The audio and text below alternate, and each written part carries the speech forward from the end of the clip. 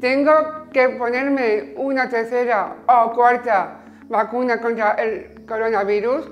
A partir del 1 de octubre de 2021, las personas con síndrome de Down mayores de 40 años podrán recibir una tercera dosis de la vacuna.